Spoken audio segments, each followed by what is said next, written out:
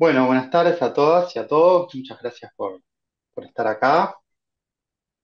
Eh, estamos por comenzar la tercera charla del ciclo Sentidos de la Alimentación, pensar las prácticas alimentarias de América Latina.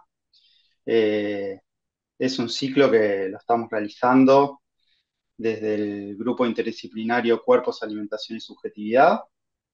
Muchas de las compañeras ya veo que, que están por acá. Es un grupo en el que estamos trabajando eh, hace dos años ya con compañeras de la Escuela de Nutrición y el Instituto Superior de Educación Física. Eh, y bueno, hoy en nuestra tercera charla le damos la bienvenida a José Tenorio, que está en este momento en Ciudad de México. Si no me equivoco, José, son más o menos las 4 de la tarde, 4 y 5 por ahí. Eh, contarles brevemente, porque entiendo que José se va, se va a presentar, pero José es doctor en estudios críticos sobre la alimentación por la Universidad de Queensland, Australia, y actualmente es investigador postdoctoral de la Universidad Nacional Autónoma de México. Así que bueno, José, cuando quieras, te damos la bienvenida. Muchas gracias por, por estar acá con nosotros. Hola, ¿qué tal? Muy buenas tardes. Es un placer estar aquí con ustedes. Y muchas gracias, Pablo, por la organización y la invitación a este importantísimo evento. Creo que es una, una conversación muy necesaria en estos días, en estos tiempos. Entonces, pues bueno, si les parece, voy a compartir mi, mi pantalla para poner la diapositiva. ¿Está bien, Pablo? Sí.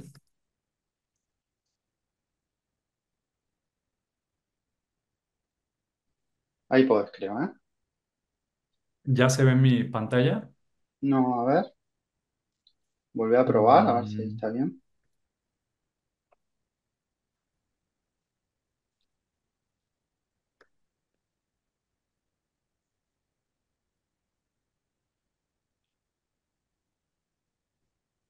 A ver. Uy, em, creo que me pide quitar Zoom y volverlo a abrir. Si me salgo rápido, vuelvo a entrar, ¿vale? Ah, bueno, dale, dale. Bueno, vamos a esperar entonces el retorno de José.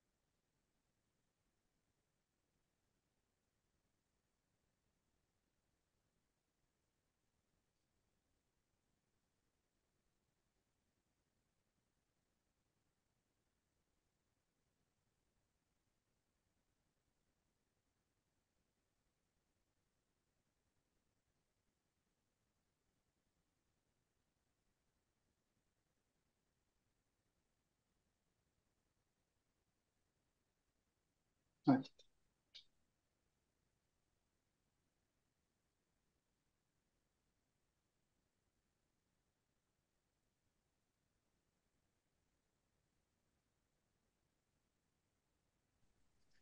Uy, yo estoy de vuelta, lo siento. No hay problema, José. Em, Ahí estamos viendo, ¿eh? ¿ahora sí? Vale. Sí, perfecto. Em, Bueno, creo que empezamos ya. Eh, de nuevo, muchas gracias. Y como Pablo comentó, soy José Tenorio y actualmente soy investigador postdoctoral en el Instituto de Investigaciones Antropológicas de la UNAM, Universidad Nacional Autónoma de México. Y lo que voy a estar compartiendo con ustedes lleva el título de Crítica al discurso de la alimentación saludable. Y me gustaría empezar enfatizando que esta charla tiene una perspectiva o me voy a aproximar a este tema desde la economía política y desde la antropología. Entonces, eh, bueno, también brevemente un poquito de lo que vamos a estar haciendo el día de hoy. La intención es que esté yo terminando la presentación en no más de media hora, porque realmente me gustaría dejar más tiempo para la interacción, las preguntas y todo eso. Entonces, bueno, voy a comenzar eh, poniendo un poquito de contexto a la charla, desde dónde hablo, y bueno, creo que esto es doblemente necesario debido a quizá la diferencia cultural, hablamos el mismo lenguaje, hablamos el mismo idioma, pero quizá habrá terminologías que puedan ser un tanto distintas. Eh, entonces, bueno, e igual quiero pedirles que si por ahí en algún momento hay alguna palabra, algún término muy mexicano que no, que no quede claro, me lo, me lo digan y, lo explicamos.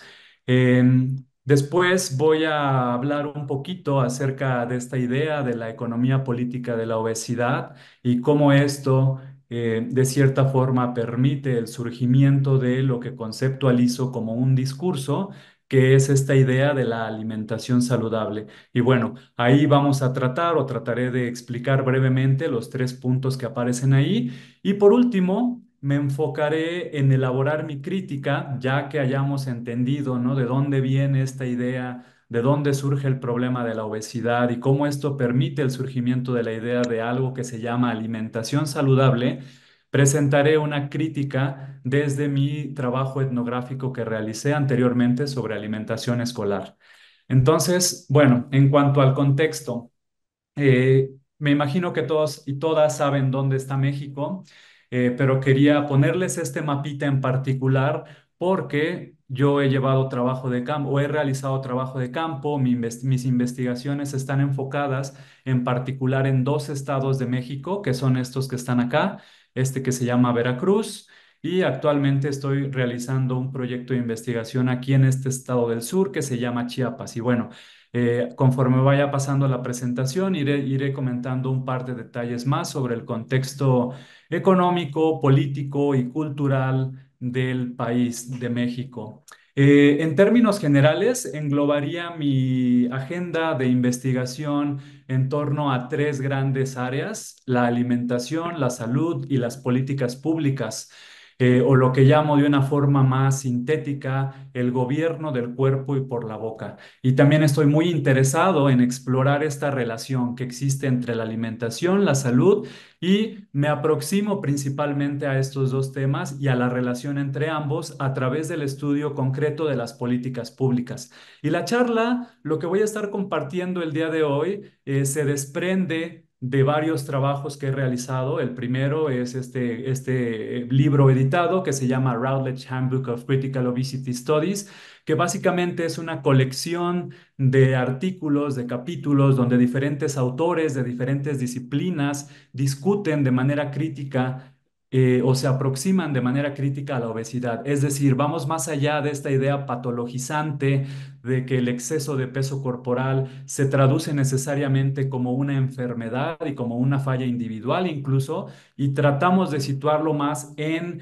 discusiones más, más, grandes, ¿no? Como podrían ser cuestiones históricas y también cambios políticos y económicos que de cierta forma han motivado el surgimiento de la obesidad como un problema de salud pública.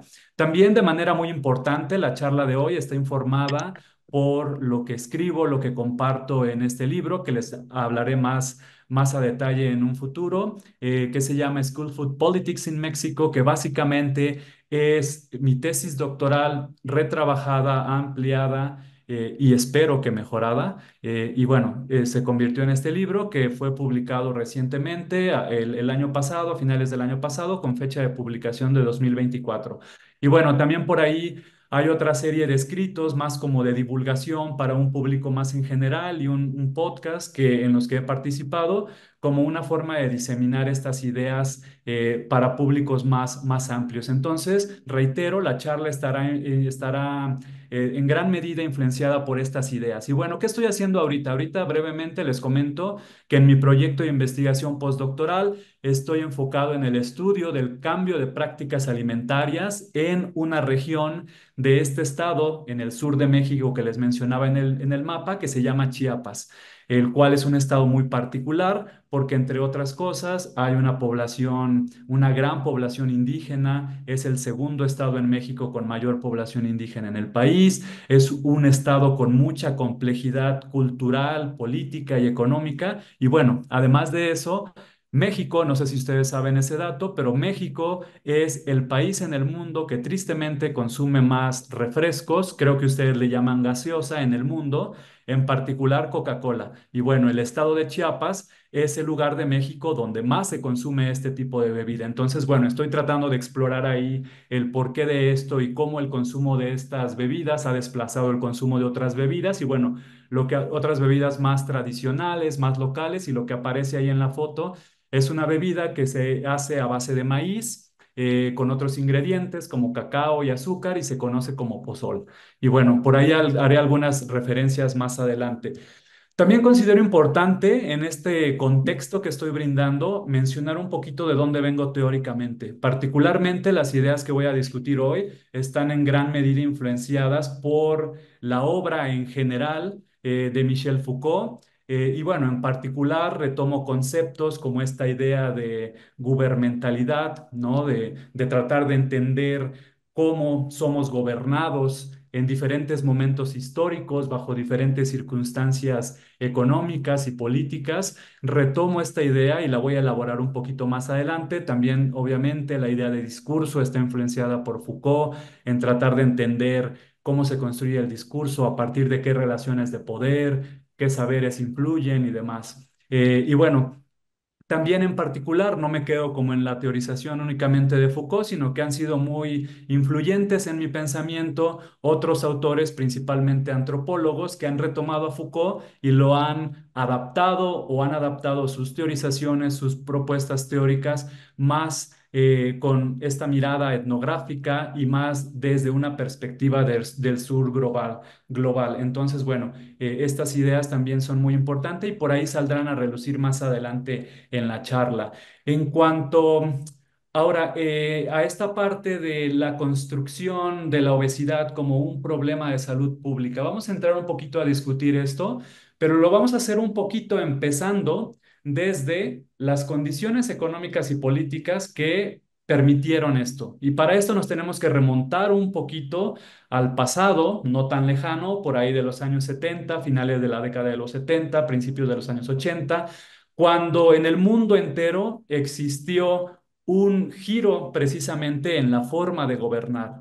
Eh, se venía de unos años de la posguerra en los cuales eh, el Estado benefactor tenía un rol bastante importante eh, en la provisión de servicios públicos y demás, pero en esta década, empieza a cambiar todo radicalmente y bueno, hay personajes ahí muy particulares como Ronald Reagan de Estados Unidos, Margaret Thatcher del Reino Unido y bueno, este otro personaje, Pinochet, en Latinoamérica, eh, que bueno, son grandes propulsores de esta idea de reducir el Estado a su mínima expresión y de también liberar la economía por completo, privatizar todos los servicios públicos y también de manera muy importante esparcir lógicas, perspectivas de gobierno que vayan precisamente de la mano con, esta, con estas ideas de libre comercio. Y bueno, ¿esto qué tiene que ver con México? Bueno, como todos los países, incluido Uruguay, eh, vivieron un proceso de liberación económica, liberalización económica, que incluyó, entre muchas otras cosas, como ya mencioné, la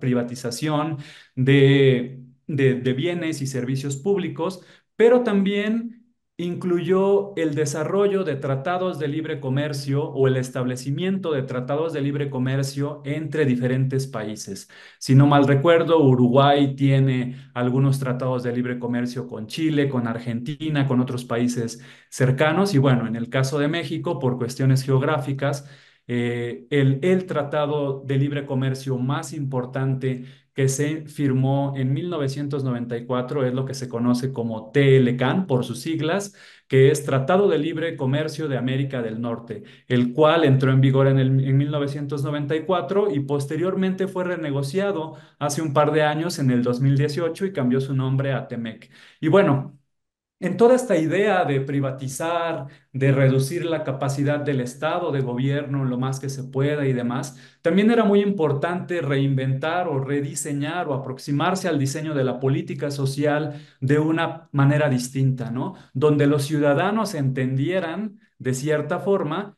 que el Estado no era el que tenía que proveer, prove- por ejemplo, servicios de salud, ¿no? O, algún tipo como de cuidado más colectivo, etcétera, sino que también tenía que el, el ciudadano, el sujeto, volverse un sujeto racional, capaz de tomar decisiones eh, este sujeto debía ser empoderado para básicamente cuidarse a sí mismo, ¿no? Y bueno, estas ideas las, las iré elaborando un poquito más adelante, pero solo quería dejar por ahí estas ideas que son muy importantes eh, en, en el surgimiento de esta idea del discurso de la alimentación saludable. Y bueno, quizá, y esta es una pregunta muy común que siempre me hacen, ¿qué tiene que ver todo esto con la alimentación?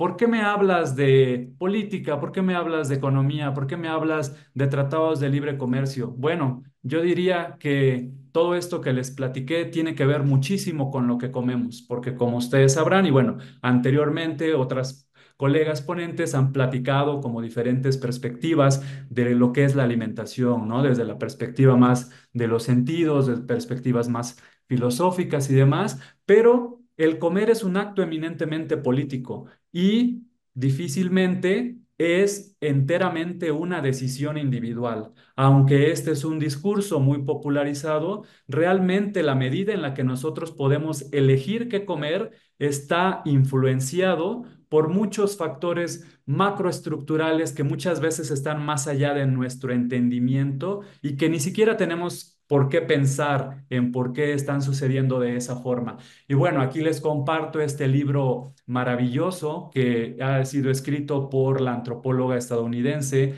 Alicia Galvez de la Universidad de la Ciudad de Nueva York, eh, que salió primero en inglés y afortunadamente ha sido traducido hace un par de años al español, que se llama Comer con el TLC, en el cual precisamente esta autora presenta un análisis súper interesante en el cual nos dice cómo el Tratado de Libre Comercio que se firmó entre México, Estados Unidos y Canadá cambió de manera radical lo que se come en México, cómo comemos en México, la forma en la que comemos, las cantidades en las que comemos y demás. Y bueno, un ejemplo muy particular es el maíz. Eh, quizá tienen alguna noción de la importancia del maíz en la dieta mexicana, pero si no, les comparto que podría yo pasarme todo lo que me resta de minutos ahorita mencionándoles, nombrándoles todos los alimentos derivados del maíz que consumimos en México. Son muchísimos, cada estado, cada ciudad los adapta de manera diferente y demás. El maíz fue domesticado en lo que hoy se conoce como México hace miles de años entonces, muchas de nuestras culturas realmente tienen una gran relación identitaria con el maíz, ¿no? ¿Qué pasa con el Tratado de Libre Comercio? Se generan una serie de acuerdos en los cuales México se compromete a importar más maíz de Estados Unidos. Estados Unidos es el país número uno productor de maíz en el mundo, pero hay una gran diferencia entre el maíz de México y el maíz de Estados Unidos. ¿Por qué? Porque el maíz de Estados Unidos es un maíz que principalmente el 90% de su uso es para uso industrial, para generar otros productos o para la engorda de animales. ¿no? Entonces, la forma en la que se cultiva es muy diferente, es una agricultura intensiva, un monocultivo, muchos agroquímicos y demás, versus los maíces que de manera más tradicional, por usar una palabra, se cultivan en México, ¿no? Y que persisten. Y México es un país autosuficiente en el consumo de maíz blanco, que es el maíz para consumo humano, y depende totalmente de las importaciones de Estados Unidos para eh, el maíz amarillo, que es este maíz que se utiliza para miles de productos que ni siquiera imaginaríamos. Y muchos de esos productos son lo que ahora en la literatura se conoce muy ampliamente como alimentos o productos ultraprocesados. Eh, si ustedes ven las etiquetas de estos productos entre los ingredientes, siempre van a ver que tiene alguna forma de jarabe de maíz de alta fructosa, que es por excelencia el producto que se elabora a partir de este maíz amarillo que se exporta desde Estados Unidos. y que México se ha convertido en un gran importador también de jarabe de maíz de alta fructosa, lo cual, de cierta forma, combinado con otros cambios en muchas regulaciones de empaquetado, de porciones, de presentaciones y demás, que fueron aprobadas con el Tratado de Libre Comercio para potenciar el consumo, nos da como resultado que México, como muchos otros países, está inundado con estos tipos de productos. Y realmente podemos ver cómo la alimentación o cómo, cómo el, el consumo de lo que comemos, que siempre ha cambiado, históricamente ha cambiado siempre, eh, pero en particular en México en los últimos 30 años ha cambiado de manera radical, de consumir una dieta principalmente a base de maíz, frijol y otros derivados, a una gran cantidad de productos ultraprocesados y curiosamente también el consumo de carne en México ha aumentado muchísimo en los últimos 30 años. ¿Por qué? Porque al importar tanto maíz para alimentar eh, animales, el precio de la carne baja y entonces la población ha tenido acceso a más, más carne. Y bueno, ahora relacionando un poquito toda esta cuestión económica y política con la salud pública.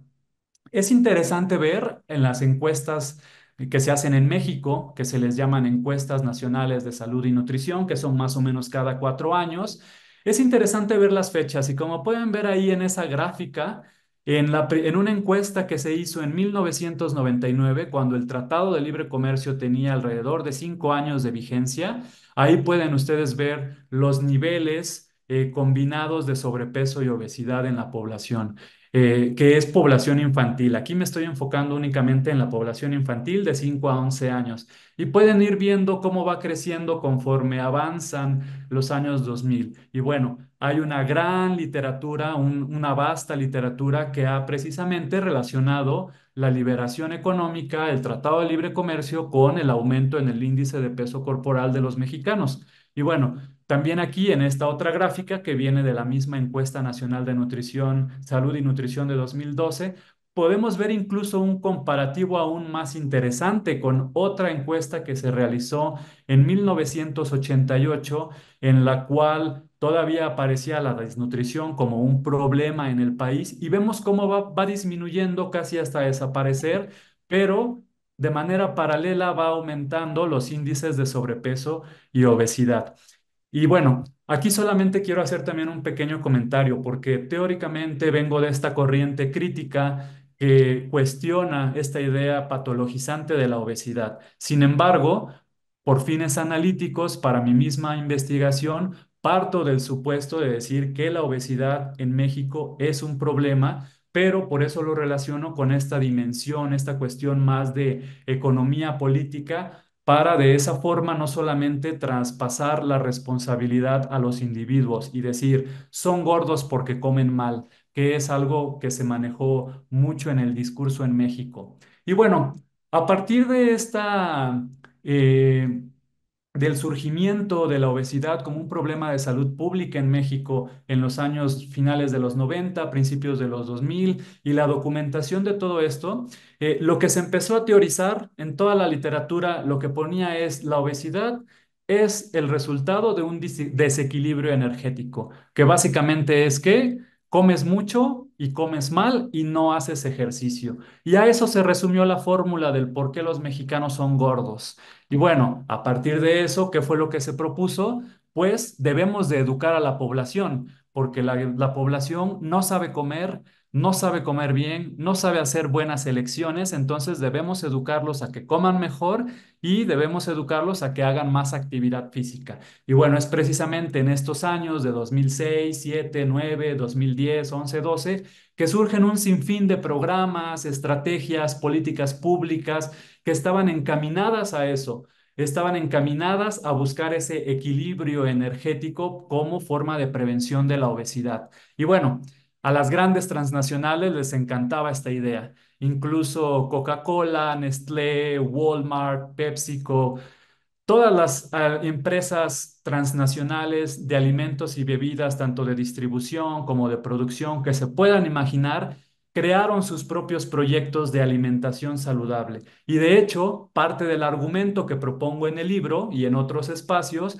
es que el discurso de lo saludable, de la alimentación saludable, viene en gran medida empujado por las corporaciones. ¿Por qué? Porque de esa forma se puede decir, el problema no está en lo que consumas, el problema está, y el problema no está en que el país esté lleno de este tipo de productos que mayoritariamente son con un gran eh, alto nivel calórico y bajo nivel nutricional. Eso no importa, lo que importa es que tú sepas decidir cuánto, cómo y cuándo comer. Entonces, bueno, salieron un sinfín de iniciativas que estuvieron patrocinadas por estas empresas. Y en el libro en particular hago un estudio de caso del programa de Nestlé que se llama Niños Saludables, que existe en todo el mundo.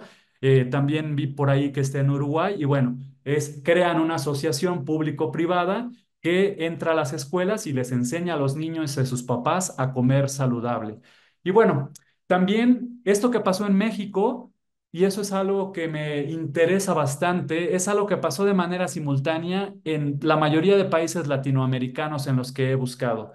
Y bueno, aquí hace unos años, cuando estaba haciendo mi investigación doctoral, me puse a buscar precisamente qué tipo de acciones, qué tipo de estrategias, políticas públicas habían implementado otros países en Latinoamérica. Y bueno, me encontré que Uruguay en el 2013 propuso esta ley, que es la, ley de alimentación saludable en los centros de enseñanza. Y bueno, también, ¿no? Leí por ahí varias notas que todo asocian ese discurso, ¿no? Como todo el mundo estamos comiendo mal, necesitamos reducir las calorías, necesitamos aprender a comer mejor y demás.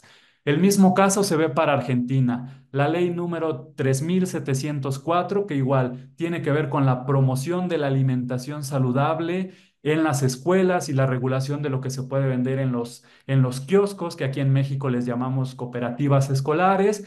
Y bueno, lo mismo pasa en Perú y podría, seguirle dándose, podría seguirles dándose ejemplos porque lo mismo pasó en Colombia, lo mismo pasó en Brasil. Entonces, es interesante ver cómo incluso pese a la diferencia en estilos de gobierno, porque eh, en, estos años estos países tenían como gobiernos un tanto distintos, ¿no? En cuanto a más progresistas, menos progresistas, etc. Es interesante ver cómo pese a eso, el discurso de lo saludable y de responsabilizar al individuo por sus decisiones alimenticias era compartido. Y eso es un dato que me parece muy interesante. Y bueno, voy ahora a pasar y también voy a ir concluyendo con esta tercera parte de la charla que tiene que ver con mi elaboración de esta propuesta de una crítica a la idea de lo saludable. Ya he ido comentando que es necesario pensar y situar la construcción de este discurso de la alimentación saludable en este contexto económico y político de liberalización económica, privatizaciones, cambios en la forma de gobernar, la reducción del Estado, etc., etc.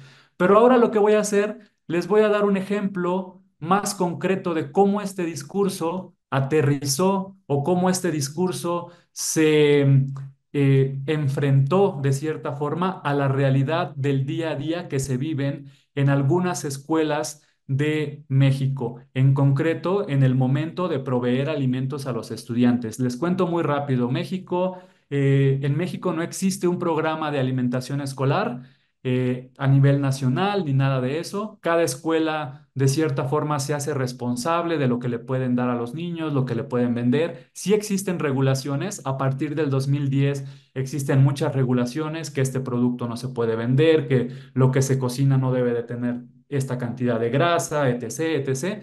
Pero hasta ahí el Estado, el gobierno, no aporta ningún tipo de recurso para la alimentación de los niños. Entonces, bueno, ¿qué es lo que hice en 2016 como parte de mi estudio doctoral?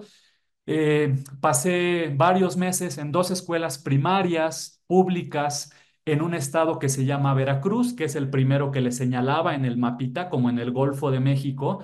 Eh, ahí pasé un tiempo en dos escuelas, una urbana, una rural, como para contrastar las dinámicas y demás.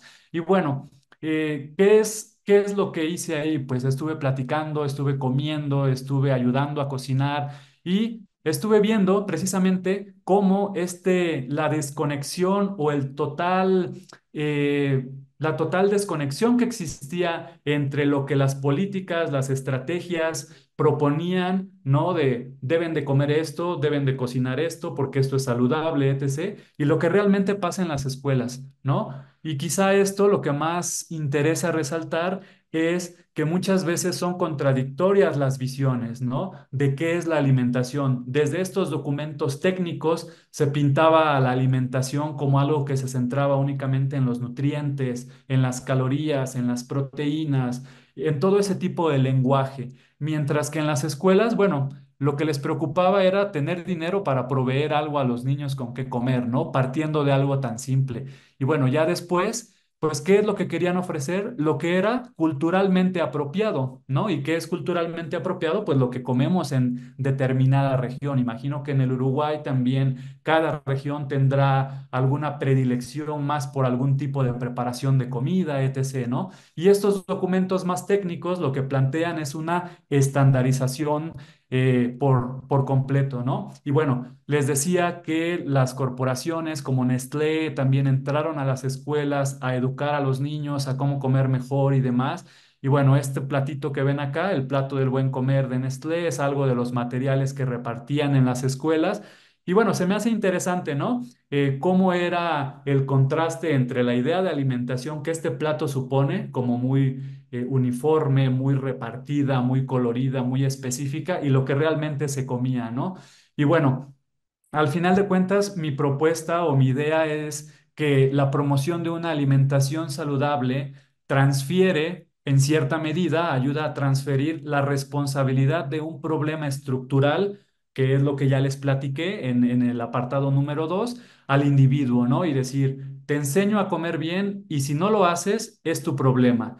Y si te enfermas, entonces es tu problema. Y bueno, igual en el libro desarrollo todo este argumento, pero básicamente lo que digo, esta perspectiva lo que hace es beneficiar y pongo ejemplos, los intereses de las grandes corporaciones de alimentos y bebidas. Y bueno, también lo que propongo a manera de propuesta es que se deben entender en el diseño de políticas públicas, de estrategias de alimentación y demás, se debe de incluir una visión donde la alimentación se reconozca más como este proceso biosocial, cultural, económicamente influido y demás, no solamente que sea algo que se centre en lo que mi colega Georgi Skrinis define como nutricionismo, ¿no? Que es como reducir el alimento a sus contenidos biológicos y nada más pensar que la comida es eso. Realmente creo que pocos de nosotros pensamos sobre la comida de esa forma, ¿no? Eh, y bueno, también propongo y explico eh, a través de historias etnográficas y de perspectivas que vienen desde el campo por qué es necesario revalorar prácticas y saberes culinarios locales. Estas maravillosas señoras que ven aquí en la foto son las cocineras de la pequeña escuela rural a la que, a la que estuve yendo como parte de mi trabajo de campo. Y bueno, estas señoras me platicaban de todos los problemas, las problemáticas que tienen para preparar, alimentar a los niños y demás pero también hablaban de todo el conocimiento que tienen. Ellas han cocinado toda la vida, saben qué cocinar. Ellas no utilizan el lenguaje de lo saludable cuando ellas hablaban de comida, se hablaban o referían como una forma de cuidar al otro, como una forma de nutrir el corazón. Esta idea quizá un poco trillada, pero que me parece muy válida, de asociar la comida con amor, de proveer la comida como un acto de amor, etc., etc., siempre en condiciones muy precarias, ¿no? Y bueno, lo que hago al final del libro es proponer esta idea de Está bien que existan regulaciones que digan qué se debe, qué se puede, qué debemos comer, etc., etc., pero qué tal si en el caso concreto de las escuelas también hay algo como un financiamiento, ¿no? Estas señoras no recibían, eh, el sueldo de estas señoras era pagado por la misma cuota que se pedía por el desayuno, entonces a veces no había dinero suficiente para pagarles, no había dinero suficiente para comprar los ingredientes para cocinar. Y bueno, entonces suena una solución muy simple, pero creo que es tan evidente que por eso es simple, ¿no? Porque quieres que comamos mejor en las escuelas, ¿por qué no nos das más recursos? Y bueno, estas mismas eran palabras de muchos de mis muchas de mis colaboradoras en las escuelas. Y voy a ir terminando ahí solamente quiero dejarles esta idea, esta propuesta, ¿no? De, de, de que la alimentación y la relación entre alimentación y, y salud son procesos eminentemente políticos. Muchas gracias. Y aquí les dejo mi correo por si en algún momento quieren mandarme alguna queja, comentario o sugerencia. Muchas gracias. Muchísimas gracias, José, eh, por tu presentación muy clara. Abrimos, si les parece, un espacio de, de intercambio, de consultas, de preguntas, de comentarios.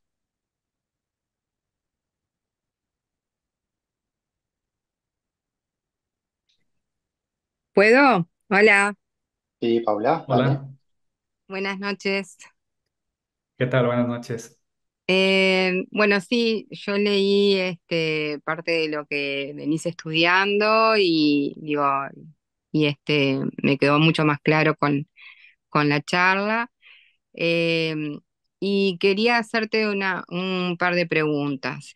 Si pensabas, si pensás que el tema de los tiempos está influenciando también en ese tema de la alimentación, digo, y principalmente en lo que está, en los lugares donde estás estudiando, digo, porque me llama la atención en un, en un lugar como Chiapas, este, de repente me llamó poderosamente la atención el tema este de, de, de la Coca-Cola, realmente, Eh, porque como que hablar de, de, este, de indígenas es como hablar más de lo natural, como decimos de la Pachamama, y, y de golpe aparece la Coca-Cola como este, el lugar más donde más consumen, es como medio, parece como contradictorio, ¿no? Y, este, y si tiene que ver también el, el tema de los precios a nivel económico, el, el, el tema de, de que los productos ultraprocesados sean más económicos que los naturales de repente. Está, eso. Muchas gracias. No, muchas gracias por la pregunta y yo creo que este en sí podría ser una charla otra vez de una hora, ¿no? Pero trataré de ser muy breve. El problema del, o, o la situación con el gran consumo de Coca-Cola en Chiapas, entre poblaciones indígenas principalmente, es que la vida venido a desplazar en rituales que se hacen, ¿no? Eh, esta bebida los rituales, entonces ahora tiene una carga, eh, no solamente como una bebida que te quita la sed o que te refresca, sino tiene también una carga incluso hasta religiosa. También otra explicación es la cuestión del agua en sí misma. En México, en ningún lugar del país es viable tomar agua directamente del grifo o la llave, no sé cómo le llamen ustedes, eh, porque pues la infraestructura no es la adecuada para que uno pueda consumir ese esa agua que sale del grifo. Entonces, en México siempre tenemos que comprar el agua que tomamos y efectivamente en algunos casos eh, hay unas, hay, hay refresco o gaseosa en todo tipo de presentaciones, desde 200 mililitros hasta 3 litros.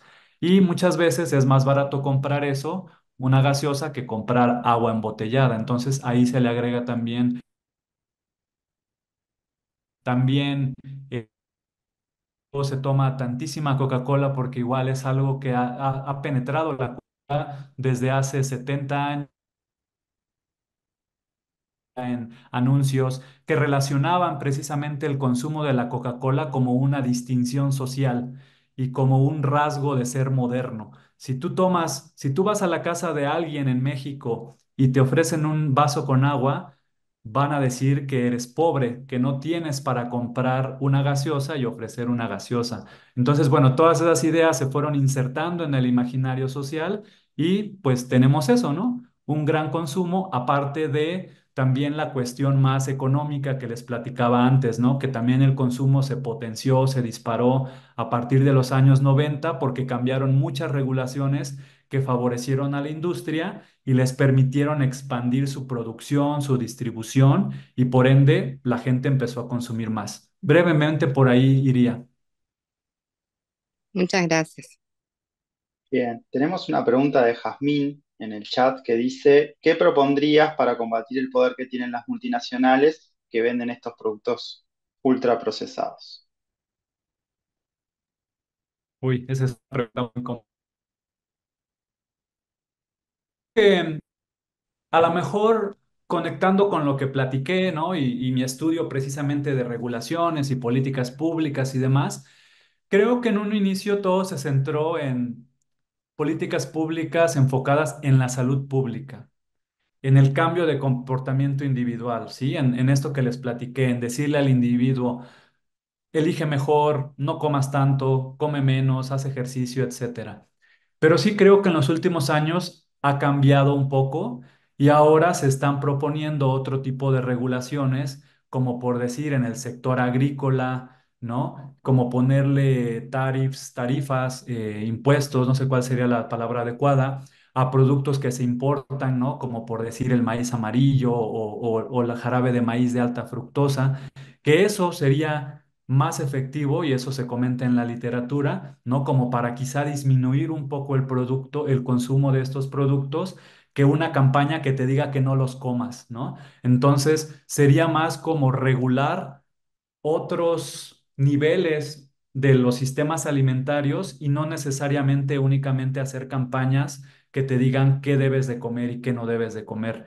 Em, pero bueno, el detalle es que estas corporaciones, al ser transnacionales, al acumular tanto poder económico y político en sí mismo, es muy difícil, ¿no? Y por decir, en muchos países, en Uruguay no recuerdo exactamente el dato, pero en México, en Chile, eh, ya se implementaron, por decir, impuestos, ¿no? A las bebidas azucaradas. ¿Han funcionado? La literatura en alguna forma dice que sí ha disminuido el consumo, pero bueno, cuando uno ve la, realidad, el día a día, creo que es difícil. El consumo a lo mejor ha disminuido un poco porque lo que toman como parámetro para medir es lo que se vende, pero que se reporta en tiendas eh, que tienen sistemas que pueden reportar. Pero mucha de la venta, por decir, en Chiapas, ocurre de una manera muy escalonada que es difícil seguir. Entonces, bueno, hay otra serie de medidas fiscales que quizá también podrían ayudar a disminuir un poco el consumo de estos productos en general.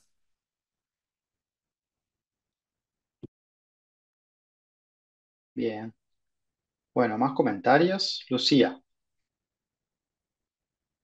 Bueno, buenas noches. Muchas gracias, José, por, por la presentación y bueno, a, todos por la organización y la convocatoria.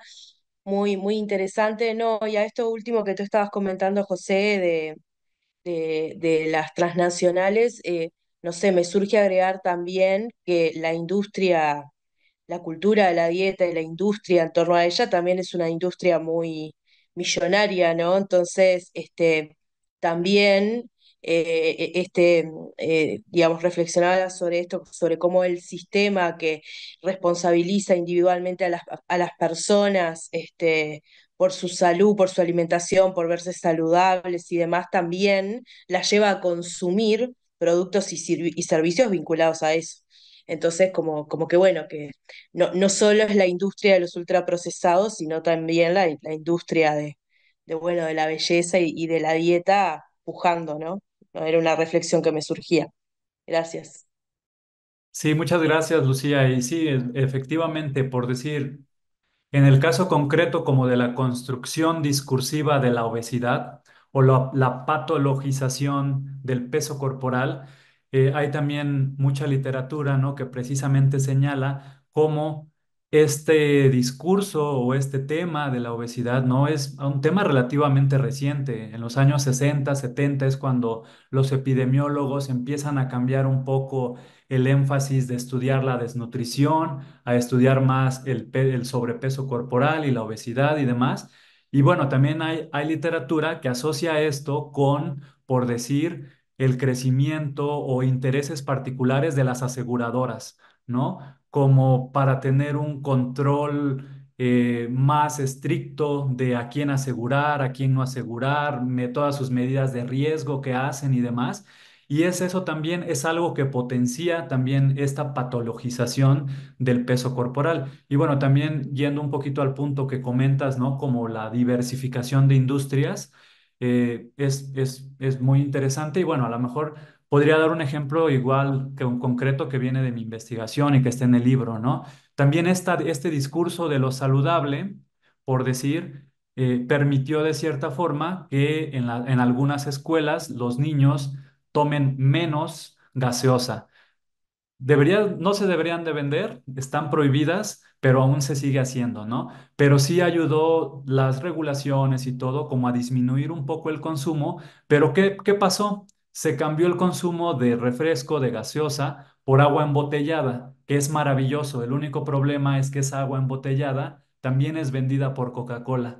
Entonces, es una problemática aún más compleja, ¿no?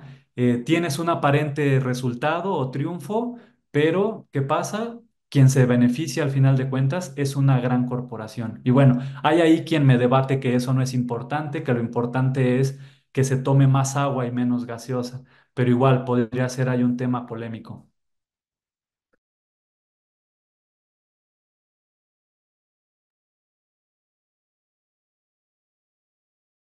Bueno, ¿alguna otra pregunta, comentario?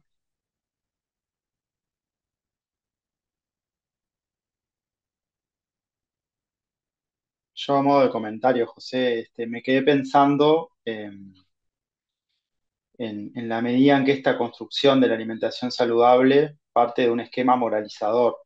Que, también este, construye en sí misma la idea de un, de un comensal, podríamos decir, o de alguien que selecciona sus alimentos de una manera racional y que gestiona su propio cuerpo de una manera este, con arreglo a determinados fines, ¿no?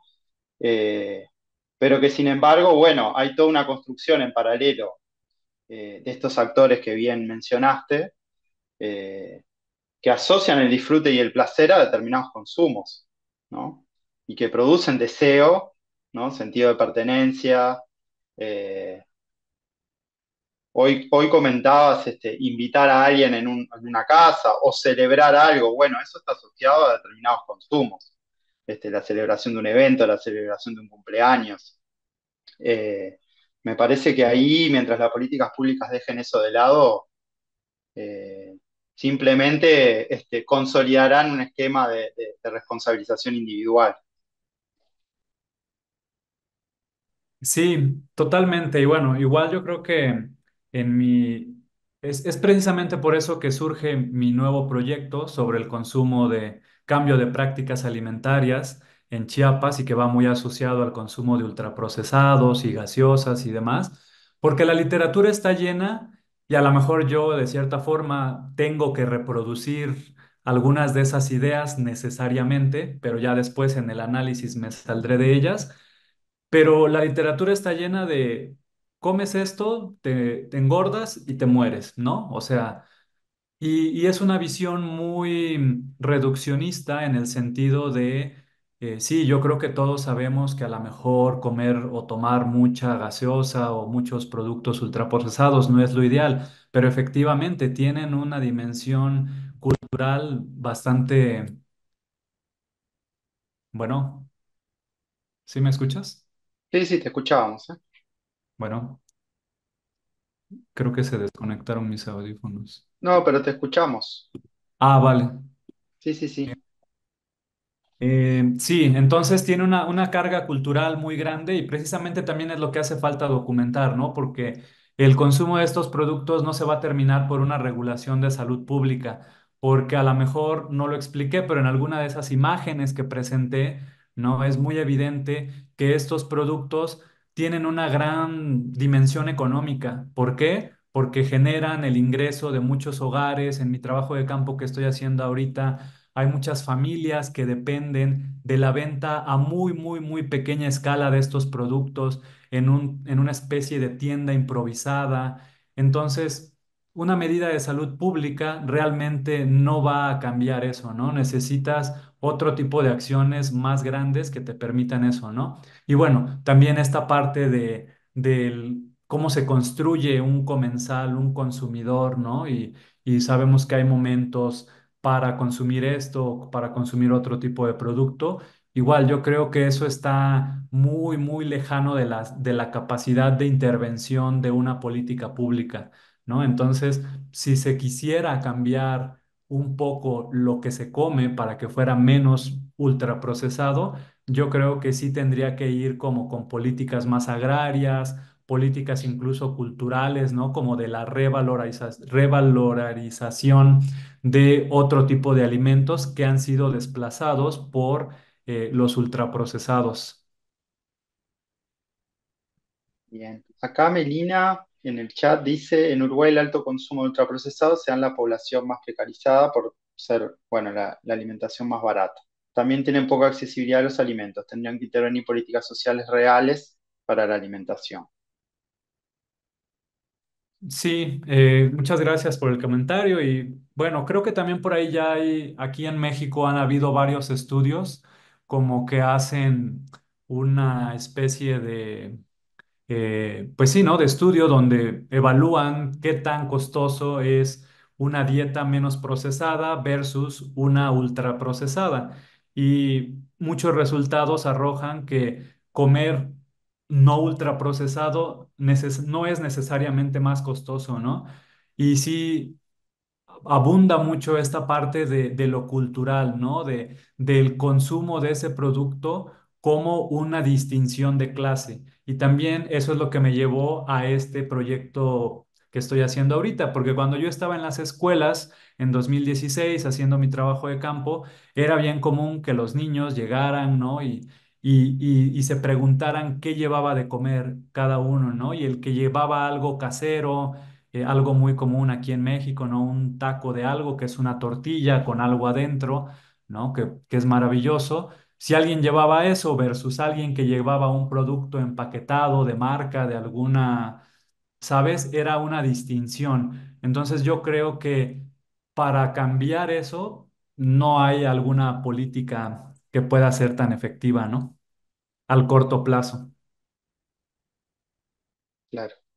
Acá Noelia también agrega que, bueno, que, que también el tiempo eh, que insume cocinar, y yo le agrego también los espacios, ¿no? Las infraestructuras a veces de las, de las grandes ciudades que, donde se habitan espacios cada vez más pequeños, muchas veces con cocinas este, mínimas o sin cocina, eh, Mm, que empiezan a delinear también las posibilidades de, sí. de la práctica mismo de cocinar. Sí, de hecho también la primera persona que preguntó, ya no me recuerdo su nombre, coment- Sí, mencionó algo del tiempo. Y sí, creo que no lo, lo comenté, pero efectivamente también en todas estas regulaciones, políticas públicas de alimentación saludable, se presenta o se construye como la idea de que la comida ya está ahí, ¿no? Como que ya está siempre disponible, como que no hay que invertir tiempo, trabajo, dinero para crearla, para obtenerla, para consumirla. Y efectivamente el tiempo es una gran, una gran dimensión, ¿no? Por ejemplo, en una ciudad como la Ciudad de México, con 25 millones de habitantes, donde hay gente que tiene que viajar cuatro horas porque vive en la zona más remota del oriente y tiene que ir a trabajar a la zona donde hay oficinas en el sur y hace tres o cuatro horas por trayecto pues difícilmente va a tener tiempo para preparar sus alimentos, ¿no? Eh, pero ¿qué es lo que pasa ahí? Afortunadamente, bueno, también hay literatura ahí al respecto, ¿no? En, en México la cuestión de la, de la comida callejera, eh, que es muchas veces accesible, muy accesible, es sabrosa, es culturalmente apropiada, pero que también a veces es un poco demonizada por estos discursos moralizantes, ¿no? De, es que eso tiene mucha grasa es que fue frito, ¿no? En, mucho aceite y demás. Pero bueno, si nos salimos un poco del, de lo moralizante y del reduccionismo eh, biologicista de la alimentación, pues podemos ver que un taco callejero, aunque sea grasoso y demás, tiene mucha más significancia cultural y social en términos de alimentación que un producto empaquetado, ultraprocesado que compras en una de las miles de tiendas eh, o espacios que puedes, donde los puedes encontrar, ¿no? Pero sí, creo que efectivamente el componente tiempo es algo que siempre está muy eh, ausente en las discusiones y por eso es que se también responsabiliza más al individuo, ¿no? sin poner en ese contexto de su vida eh, y su situación económica, la condición de clase y demás. Bueno. No sé si alguna última pregunta o comentario. Bueno, agradecerte mucho, José, la verdad que un placer recibirte, tu participación, tu presentación. Eh, muchas gracias a, a todos y todas también por, por estar aquí hoy. Nos vamos a reencontrar el 14 de noviembre con, con Flavia de Monte, con su charla Salud y Alimentación en el contexto hipermediatizado, discurso y actores en disputa. Y bueno, y comentarles también que esta charla de José, como las dos anteriores, y la de Flavia también va a quedar disponible en el canal de YouTube de la Facultad de Psicología. Así que bueno, un placer, José, muchas gracias. No, muchas Nos gracias, Pablo. encontraremos en cualquier momento. Sí, gracias a todos por escuchar y ojalá en un futuro pueda platicar con ustedes en Montevideo. Bueno, esperemos que sí, trabajaremos para eso.